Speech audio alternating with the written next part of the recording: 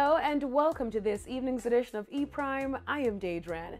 An unprecedented top six announced at Miss Jamaica World 2019. The MJW Grand Coronation Spectacular saw six ladies instead of the standard five competing for the coveted crown. Contestants Toni-Ann Singh, Alana Wanless, Khadijah McIntosh, Rochelle McKinley, and Saini Phillips. However, due to a tie in scores, Brianna Knight had a chance of securing the crown. During the question and answer segment conducted by Simone Clark Cooper, the six ladies got an opportunity to display their eloquence. However, critics maintain that some of the contestants did not answer their question correctly. What is the most important quality that a Miss Jamaica World should possess?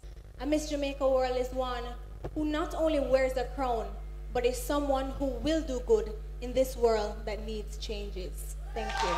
If you had a chance to speak in front of Jamaica's political leaders, what would you say?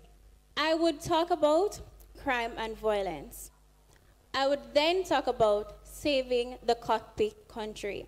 What does beauty with a purpose mean to you?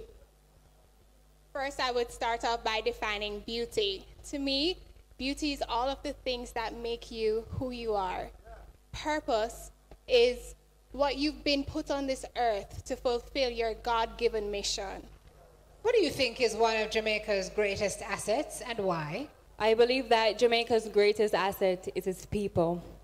You know, the power of being resilient, thriving through all adversity. If you are chosen to be Miss Jamaica World, how would you use your crown to contribute positively to your society?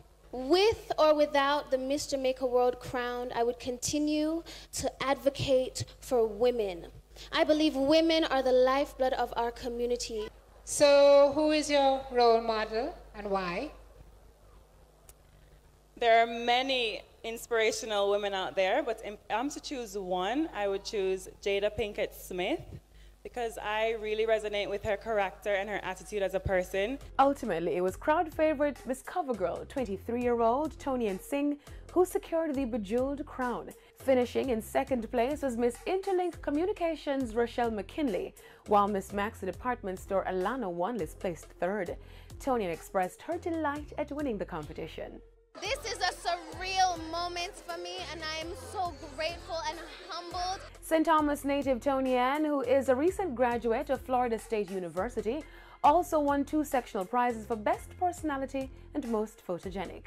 Sectional awards were also given to Hakika Greaves for Most Congenial, Daniva Powell, Most Improved, and Brianna Knight for the popular vote. Crown of Beauty Director Weston Horton and MJW co-franchise holder Delia Harris anticipating the best for the new Miss Jamaica World 2019. And I think the dream is going to come true. I think we're going for a fourth Miss World. They say Miss World is coming home, the crown is coming home to Jamaica. Toni-Ann Singh will represent Jamaica in London come December. That's it for this evening's edition of E Prime. I'm Daedran. Thank you for